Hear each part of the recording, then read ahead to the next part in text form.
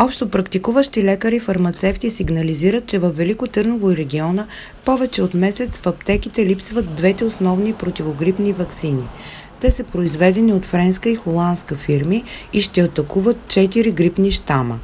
Личните лекари от Велико Търново и региона обаче не могат да направят вакцинации нито на децата, нито на възрастните си пациенти, разказва доктор Емил Енчев от два месеца някъде имам запитвания за вакцини. Появиха се за едно известно време, който успя си направи. Е, общо взето и тук от няколко седмици насам няма. В момента количествата са изчерпани в аптечната мрежа и няма доставки по складовете. Получи се недостиг от доставка на противогрипните вакцини, тъй като а, още в октомври месец, някъде между 15 и 20 октомври, изчезнаха наличните количества по складовите. Тази година се предлагаха така наречените тетравакцини или 4 валентни вакцини. И, двете, и двата вида бяха в изключително недостатъчни количества.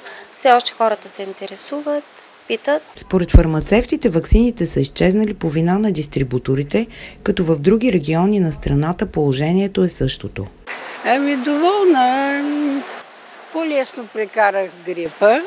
Нямаше осложнение, някога ми се случва и двойно изкарване на грипа. Ваксините следва да се поставят поне месец по-рано, за да може организмът да изгради имунитет. Липсата им повече от месеци в аптечната мрежа предполага, че случаите на осложнения от грип ще са повече.